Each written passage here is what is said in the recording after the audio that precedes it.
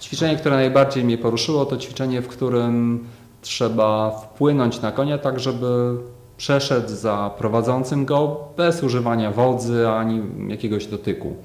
Po prostu prowadzi się go y, i on, on podąża za, za ćwiczącym w sposób wolny.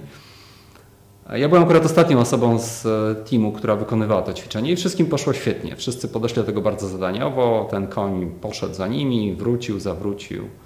Ja doszedłem do wniosku, że to musi być tak proste, że w zasadzie wszystko jedno. Cokolwiek ja nie zrobię, o czymkolwiek nie pomyślę, to ten koń i tak pewnie za mną pójdzie. No i z takim bardzo swobodnym podejściem podszedłem do tego zwierzęcia, które absolutnie nie miało ochoty nic wykonywać, no bo, bo chyba odczytało to moje wewnętrzne przekonanie, że nic nie trzeba. To się i tak samo stanie. No i koń rzeczywiście absolutnie nie chciał za mną pójść.